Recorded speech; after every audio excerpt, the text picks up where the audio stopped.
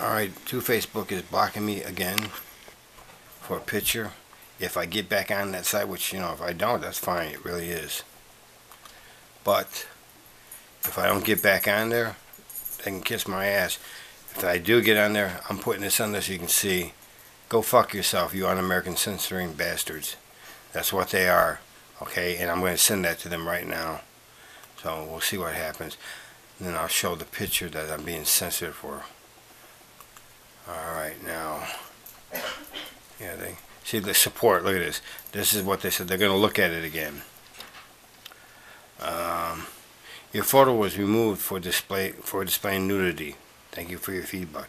Okay, now, thank you for that. Okay, now let me show you what that nudity is. Sorry, I close this box. Window. Okay, this is the alleged nudity. I mean, it's all BS.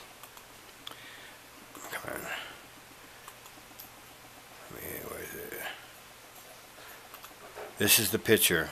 You, you, you want to see the nudity? Where's that? Right there. Okay. Okay.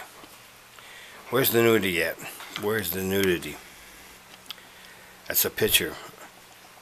Trump Pence, Make America Great Again. There, there's bare leg there, bare hand, bare leg there, bare leg, bare hand, lower belly, or it might be someone's butt. But again, there's no nudity there, but that's the picture that they're using. And that's what's on this video. This is what's going on YouTube. And then this will go on to, to Facebook if I get back on that account. Because if I don't, that's the sixth and last account I'll ever get on that piece of shit censoring motherfucking site.